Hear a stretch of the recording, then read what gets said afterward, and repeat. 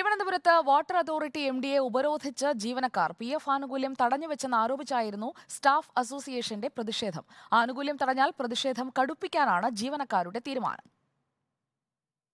കഴിഞ്ഞ ഒന്നര വർഷമായി പി എഫ് വിഹിതം അടയ്ക്കുന്നില്ല എന്നാണ് വാട്ടർ അതോറിറ്റി ജീവനക്കാരുടെ ആരോപണം. ചികിത്സാ ആവശ്യങ്ങൾക്ക് പോലും പി എഫ് തുകയിൽ നിന്ന് വായ്പയെടുക്കാനാകാത്ത സ്ഥിതിയിലാണ് തങ്ങളെന്നും ജീവനക്കാർ പറയുന്നു. ജീവനക്കാരനെ സംബന്ധിച്ചിടത്തോളം അവന്റെ കുട്ടികളുടെ വിവാഹം അല്ലെങ്കിൽ വീട് വെപ്പ് അല്ലെങ്കിൽ വലിയ വിദ്യാഭ്യാസം അല്ലെങ്കിൽ മറ്റ് കുടുംബത്തിലുള്ള അസുഖങ്ങൾ ഇത്തരത്തിൽ എല്ലാ കാര്യങ്ങൾക്ക് വേണ്ടി അവൻ നിക്ഷേപിച്ച തുക ഇപ്പോൾ പിൻവലിക്കാൻ പറ്റാത്ത രീതിയിലാണ് പോയിരിക്കുന്നത്. അതുമായി ബന്ധപ്പെട്ട് സമരവുമായി ബന്ധപ്പെട്ട ഒരു നോട്ടീസ് കൊടുത്തു ഒരു ചർച്ച നടത്തുകയും ചെയ്തു. ചർച്ച നടത്തി ഏകദേശ ധാരണ ഉണ്ടാക്കി പോലും എന്നിട്ട് പോലും അത് നടപ്പാക്കുവാൻ മാനേജ്മെന്റോ ഗവൺമെന്റോ തയ്യാറാകുന്നില്ല വിഷയത്തിൽ ഇന്നലെ മുതൽ ഐ എൻ ടി യു സിയുടെ നേതൃത്വത്തിൽ വാട്ടർ അതോറിറ്റി സ്റ്റാഫ് അസോസിയേഷൻ പ്രതിഷേധത്തിലാണ്. ഇന്ന് എം ഡി എ ഉപരോധിക്കുകയും ചെയ്തു.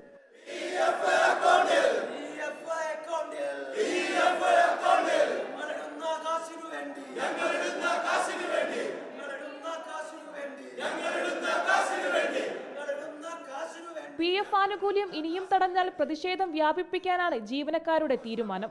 റിപ്പോർട്ടർ തിരുവനന്തപുരം.